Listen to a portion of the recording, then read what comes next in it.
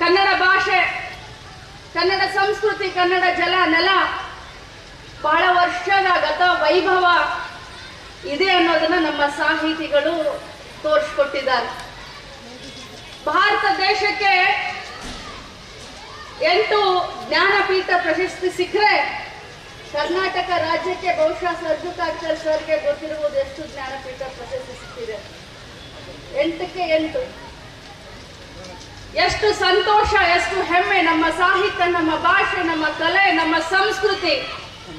ನಿಜವಾಗ್ಲೂ ನಾವೆಲ್ಲರೂ ಪುಣ್ಯವಂತರು, ನಾವಿಲ್ಲಿ ಹುಟ್ಟಿದ್ದೇವೆ.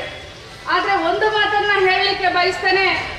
ಸ್ವತಂತ್ರಕ್ಕಿಂತ ಪೂರ್ವ ಕರ್ನಾಟಕ ಮತ್ತು ಮಹಾರಾಷ್ಟ್ರ ಬಹಳಷ್ಟು ಒಂದೇ ಸಾಮ್ಯತೆಯಿಂದ, ಈವನ್ ರಾಜ್ಯ ಕೂಡ ಬಹಳಷ್ಟು ಬೆಳಗಾವಿ, ಮಹಾರಾಷ್ಟ್ರಕ್ಕೆ ಸೇರಿದ್ದಾಗಿ, ಬೆಳಗಾವಿ, ಮಹಾರಾಷ್ಟ್ರಕ್ಕೆ ಸೇರಿದ್ದಾಗಿ, ಬೆಳಗಾವಿ ಮಹಾರಾಷ್ಟ್ರಕ್ಕೆ ಸೇರಿದ್ದಾಗ ಬೆಳಗಾವಿ ಮಹಾರಾಷ್ಟ್ರಕ್ಕೆ ಸೇರಿದ್ದಾಗ ಬಹಳಷ್ಟು ಅನ್ಯೋನ್ಯತೆಯಿಂದ ನಾವೆಲ್ಲರೂ ಇದ್ವಿ.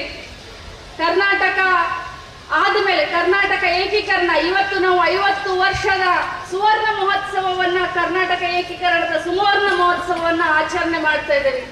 ಈ ಸಂದರ್ಭದಲ್ಲಿ ಇಡೀ ಭಾರತ ದೇಶವನ್ನ ಪ್ರಾಂತವಾರು, ಭಾಷಾವಾರು, ಸಂಸ್ಕೃತಿ, ನಮ್ಮ ಭಾಷಾವಾರು ಇದನ್ನ ಮಾಡಿದ ನಂತರ ಇಡೀ ದೇಶ ಯಾಕಂದ್ರೆ ತುಂಡ ತುಂಡವಾಗಿ ಇದ್ದಂತ ದೇಶ ಒಂದಾಗಿ. ಇವತ್ತು ಇಡೀ ವಿಶ್ವದಲ್ಲಿ ನಮ್ಮ ದೇಶ ಮುನ್ನುಗ್ತಾ ಇರೋದನ್ನ ಕಂಡ್ರೆ ನಮಗೆ ಹೆಮ್ಮೆ ಆಗುತ್ತೆ.